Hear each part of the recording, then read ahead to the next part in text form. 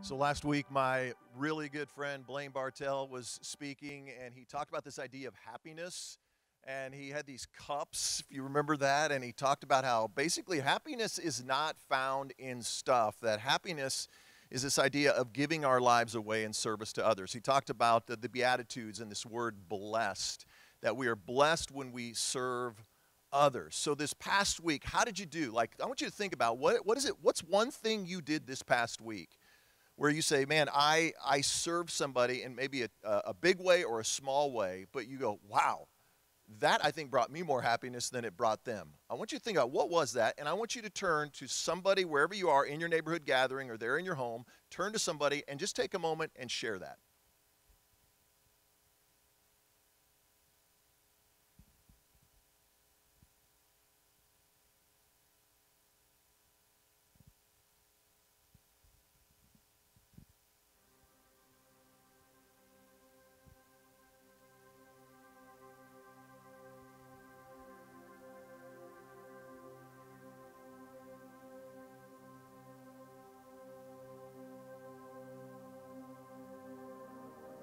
So, we are in the year of rest, and we are kicking off today uh, a year of rest series. It's really our core values series, a series that we're entitling Rest Full, Liv- living restful in a restless world. Like right now, do we all not need some rest? Living restful in a restless world is what we're going to be talking about. And we do this every year. If, if you're brand new and, and this is your first time to, to watch us online, this is a perfect time for you to watch because you're going to learn who we are at Core Church.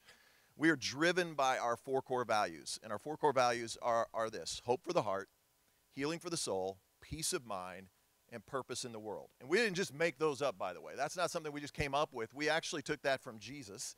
Jesus in the book of Matthew, he gave us what's known as the Great Commandment. And he basically said this when somebody said, What are we supposed to be doing in this world? And Jesus answered this way He said, Love the Lord your God with all your heart, all your soul, all your mind. Oh, and a second is equally important. Don't forget this one love your neighbor as yourself. And that's really what drives us as a church. Like, we exist because we want you and others around you to find the hope and the healing and the peace and the purpose of Jesus. So today, we're going to look at this word hope. And if you have a Bible, I want you to go to uh, Psalm chapter 91. Psalm 91. If you don't have a Bible, I encourage you to download YouVersion. It's a great Bible app. I read out of the New Living Translation. And the Psalms primarily are written by David, but this one here is actually written by Moses. And if you're new to church, Moses is that guy that led the children of Israel out of slavery and gave us the Ten Commandments. Uh, Charlton Heston, think old school. Maybe as a kid you watched that. So Moses writes this, and if you read the whole chapter, it's very poetic, and some of it may not make a lot of sense unless you know the story of the children of Israel leaving bondage in Israel, going through the desert, and getting to the promised land, because he uses a lot of poetic language in it. But let's go to Psalm chapter 91, and I want us to read this uh, to, to, today as we begin. He says this in, in the first few verses Those who live in the shelter of the Most High will find rest in the shadow of the Almighty. This I declare about the Lord. He alone is my refuge, my place of safety. He is my God, and I trust him. For he will rescue you from every trap and protect you from deadly disease. He will cover you with his feathers, he will shelter you with his wings. His faithful promises are your armor and protection. So, for a few minutes this morning, I want to talk to you about this idea of resting full of hope. Let's rest full of hope. Let's pray. Father, in the few moments we have together, would you just speak through your word? Would you minister to us in whatever is needed in this moment? In Jesus' name we pray. And wherever you are, will you just say amen together? So in 1803, Lewis and Clark uh, set out on the Corps of Discovery. Uh, they left to uh, find a northwest passageway uh, across the Rockies and to the Pacific Northwest. They were trying to make it to the Pacific Ocean. And so they set out from St. Louis, and you probably know this from your history books or your stories. And I've been enthralled with this because I'm reading the, uh, an autobiography about these guys. And they started out kind of in St. Louis and they went up the Missouri River. And that first leg was a lot more challenging than they really expected. They came across a lot of obstacles, um, a lot of opposition, uh, people trying to stop them. The weather got horrific and awful. And so then they make it to the base of the Rocky Mountains. And their plan is, is to climb the Rockies. And when they climb to the top of the Rockies, that they would find a water route and they would get in their canoes and they would just canoe on down to the Pacific Ocean.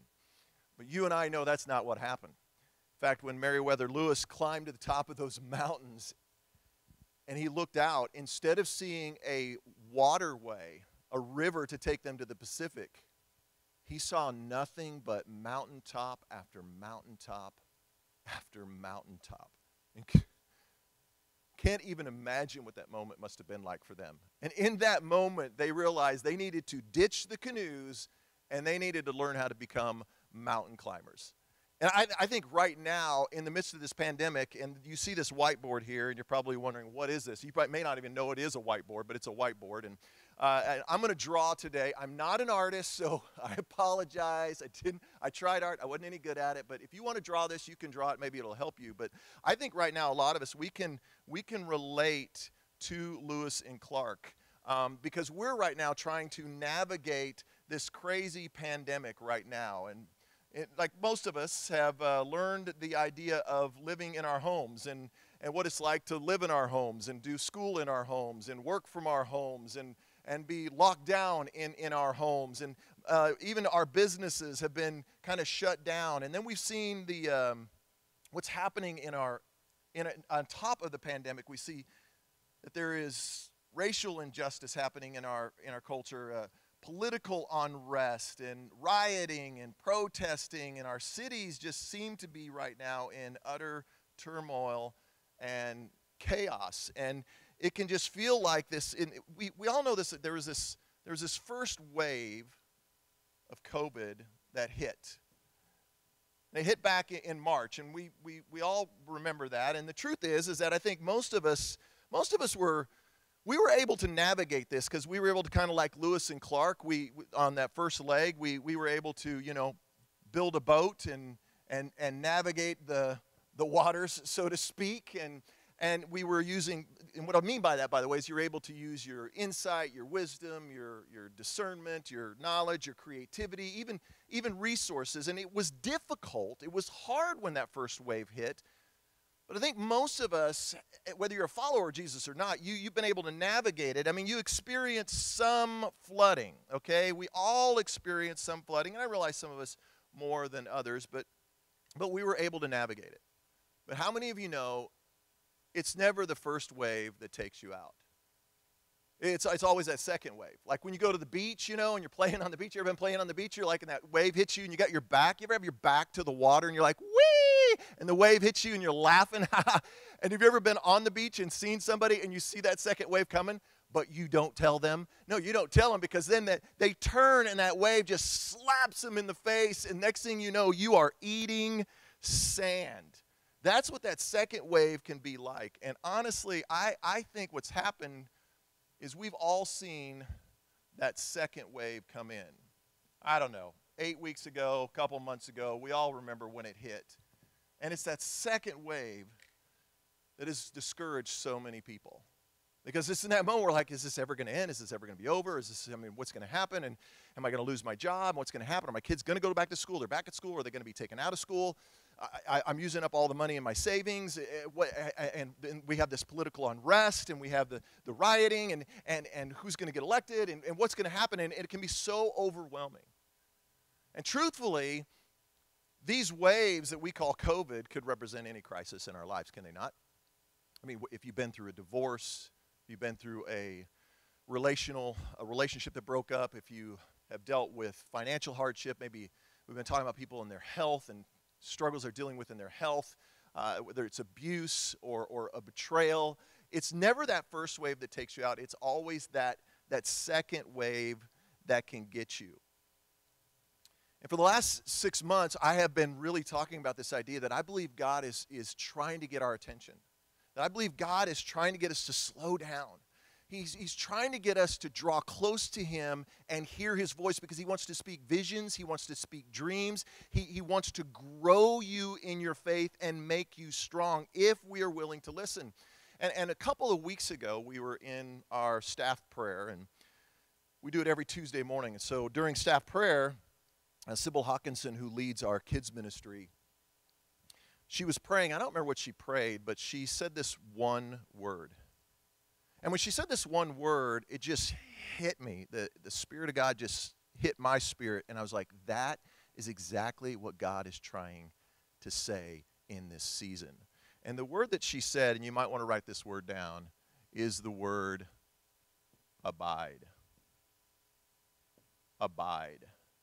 So, what does that mean to abide? What, is it, what does it mean to abide, and how, how do we abide? I think, like Lewis and Clark, we've got to we got to ditch the boats. We've got to ditch the boats, and we've got to learn how to become mountain climbers. We've got to learn how to become mountain climbers. I, I think uh, Moses was a mountain climber. We may don't think of him that way, but Moses often, it says, withdrew to the mountain of God, Mount Sinai. So Mount Sinai is called the mountain of God. And so many times that's what Moses would do. He would withdraw to be away with God. And I believe that's what God is calling you and I to do. He's calling us to abide. So, what does that look like? Let's look back at the scripture, Psalm 91 1. It says this Those who live in the shelter of the Most High will find what? Say it wherever you are. Will find what? Rest. They will find rest. In other words, they will rest full of hope in the shadow of the Almighty. The New American Standard Version, old school version, says it this way Those who live in the shelter of the Most High, they will abide. So, this idea of abide, abide is to rest. And to rest is to abide. The, the word that Moses uses here in Psalm 91 for abide or rest, they're interchangeable here. It's this idea of to, to lodge or to, to stay over a night, to, to lodge in place. Uh, Laura and I, whenever we go, whenever we lodge, whenever we go out of town and we stay somewhere, our, our preference, our pref, pref, preference, pre, pre, what's the word? I don't know. Anyway, our, our, our, preference, that's the word, preference, thank you. Nobody's helping me here. Our, our preference is to use Airbnb. We love Airbnb. We don't want to stay at a hotel. And if you've ever stayed at Airbnb, or maybe you've never stayed at Airbnb, let me help you out with this. If you've never stayed at an Airbnb, and there may be a reason, maybe the same reason that I, I am, you usually stay in somebody's house or somebody's apartment. And when you stay, here's a tip for you you have two options, okay? Here are the two options. You can have the entire place, speaks for itself. You get the entire house, the entire apartment all to yourself, or you can you can rent from somebody what they call shared space. That means that you get a bedroom, someone else gets a bedroom, and the owner gets the bedroom, and you share the living room, you share the kitchen, you share the bathroom. That ain't my jam.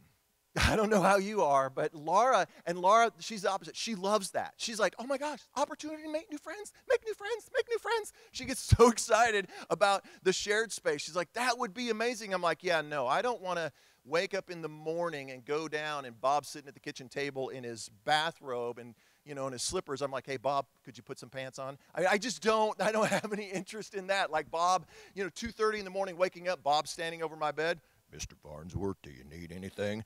No, that's just weird. I don't need that. Uh, but Laura loves it. She loves this idea of shared space. I think this word abide here, to abide, is to have a shared space with God. It's, it's to commune with God. It's this idea of drawing near to God. It's this idea that I'm going to commune with Him, that I'm going to pull away from everything else in this world, and I'm going to be with God. I want you to write this down. Hope for the heart is found as I abide in the Almighty. Hope for the heart is found as I abide in the Almighty. Now, Moses goes on and he, and he tells us this in the next few verses that abiding, abiding is about trusting. So, if we're going to abide, if we're going to rest, the only way you're going to abide and the only way you're going to rest is if you trust. if you don't trust, you'll never abide and you'll never rest. So if you if you find yourself never pulling away, guess what? It's probably because you don't really trust God. But when we pull away to be with God, when we abide and we rest, it means that we're trusting in God. And Moses trusted fully in God. Look what he says in verse 2. This I declare about the Lord. He alone is my refuge, my place of safety. He is my God, and I trust him, for he will rescue you from every trap and protect you from deadly disease. He will cover you with his feathers, he will shelter you with his wings. His faithful promises are your armor and protection. I think what happens though so many times right now is that people are, instead of trusting in God, they're trusting in their natural abilities. Talked about that just a moment. They're, they're this idea that I'm just going to build a bigger and better boat. That's how I'm going to overcome that second wave. I'm going to I'm going to lean more into my wisdom. I'm going to lean more into my creativity. I'm going to lean more into my resources and my insight and my intellect and, and on and on and on, my natural abilities. And I think right now what is happening is people's boats are sinking and they're taking on water and people are being overwhelmed and they don't know what to do because it's crashing in on them. But here's the good news write this down. When I trust God, He puts His super on my natural. When I trust God, He puts His super on my natural. And here's what happens when you abide, when you draw into God and you begin to trust Him for wisdom, guess what happens? You start climbing the mountain. When you trust Him for insight, He puts His super on your natural. When you trust Him for supernatural creativity, you start climbing the mountain. When you trust Him for supernatural resources, guess what happens? You start climbing the mountain. And when you climb up on the mountain, guess what happens? That second wave, it cannot touch you because you are abiding in Christ. You're abiding in God. And like Moses says, He becomes your refuge. He becomes your shelter. He becomes your place of safety. He will rescue you from the trap. He will cover you with His feathers. He, he will place you and shelter you under His wings. Hope for the heart is found as we abide in the Almighty. Jesus said this in the New Testament. Matthew wrote this down, this account of Jesus in Matthew 11 28. These are the words of Jesus, and here's how he said it Come to me. In other words, he says, Abide in me. Draw away from all the chaos. Draw away from all of the noise. Draw away from all of the busyness, the heartache, the brokenness, the struggle. Draw away from it. Abide in me. All of you who are weary and carry heavy burdens. And I will give you what?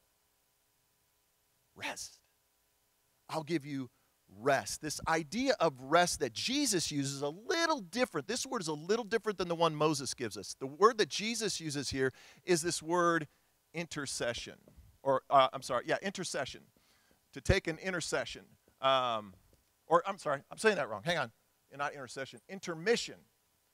Take an intermission. Intercession is what we do when we pray. Intermission. So write down the word intermission. Inter. I'm telling you, I'm not an artist. I'm telling you. yeah, enter into mission, okay? I did that on purpose. Stop laughing at me. I did that on purpose. No, but you need to take an intermission. I'll clean that up for the 9:30 in-person service. But this idea that we need to take an intermission. With this idea of an intermission is to, is to unplug. It's this idea like right now, Jesus is saying this Come to me, and I'll give you an intermission. Like all of the noise, all the chaos, all the mess, draw into me, and you can take an intermission. You take a break. I, I love to coach, and I'm not sure what this fall is going to look like. I coach 10 year old boys. And whenever I coach 10 year old boys, it's, uh, I don't know how to describe it. It is so chaotic. Um, imagine if you threw five cats on a basketball court and just let them go. That's, that's kind of what it's like. I mean, they are running around crazy. They're scratching each other. They're, they're hissing. They're, they're batting at the ball. I mean, they just, it's just chaos, chaos. And they don't, they don't listen. And then on top of that, I've got my assistant coaches that are yelling at them. That, that's Coach Mom, Coach Dad, Coach Grandpa, Coach Grandma, all yelling at them. There's three courts at one time playing. Imagine this three courts at one time, noise and craziness. I can tell you as a coach, I try to get them to listen to me in the midst of all that. They can't hear me. So I have to call a timeout or I have to wait till halftime. And I take an intermission. It's an intermission. It's a moment to pull away, to get them together, away from the noise, and for me to speak to them. This is what God wants to do with you and I. I want you to think about this. I, what right now feels chaotic to you? What right now in your world is the one thing that you go, this is insane in my life. I don't even know how to navigate this.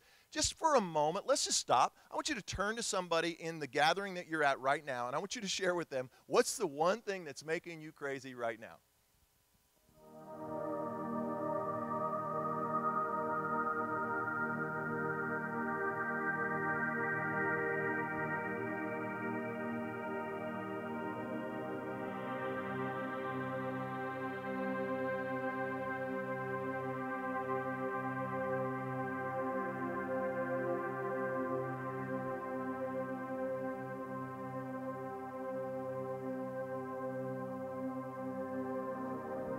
So, Core Church, we have these four core values, but we also have our eight core practices. In fact, uh, many of you are going to be gathering in groups tonight and this week, and you're going to be going through these eight core practices that help us to grow as followers of Jesus. If you're not in a group yet, there's still time. We want everybody in a group for the next four weeks where we talk through these eight core practices.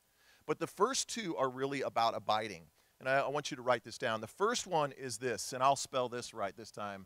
I want you to write down daily devotion? Do you have a daily devotion? A time where you stop, where you rest, where you abide. And this is where you learn to trust God in your daily devotion. Listen, so many times if we don't stop and read the word, all we're doing is swimming around in chaos and we're using our own wisdom, our own insight, our own creativity, our own resources. But when you have a daily devotion and you get into the word of God, guess what happens? When you get into the word of God, he begins to put his super on your natural. Suddenly, you have supernatural wisdom, supernatural creativity, supernatural things begin to happen in those moments where God begins to speak to you. A daily devotion. The second one is something we're all doing right now, and that's Sunday worship. Man, I want to tell you what the decision you made today, the right decision. You decided and you said, Today, I'm going to pull away from the noise. I'm going to pull away from the chaos of everything that's going on. And here's what happens when we come together to worship together two things happen. Number one, we experience the presence of God, and we experience the power of God. That's what's happening for you right now. The Holy Spirit is speaking to you. And, and right now, He is going to supernaturally impart power to you in this moment as we gather together because tomorrow you got to go back out into all of this. But because you took time today and because you're daily in the Word of God, when you come and you abide and you rest and you say, I'm going to trust in Him, you can go back out into this and you rise above all the chaos and all the confusion and all the crisis and all the heartache and all the brokenness that the world says, How in the world are you doing this? So Lewis and Clark, when they got to that mountain, they didn't give up. They didn't just go, well, I guess that's it. I guess we're just, we're done. No, in that moment, Lewis and Clark, they ditched the canoes and they became mountain climbers. So, my question for you today is this Are you willing to ditch the canoes? Are you willing to ditch the boat? Are you willing to ditch everything the world is doing? And are you, are you willing? Are you willing to become a mountain climber? Are you willing to abide? Are you, are you willing to, to learn to rest and to trust? Are you willing to withdraw from all this and go to be with the mountain of God and spend time with God?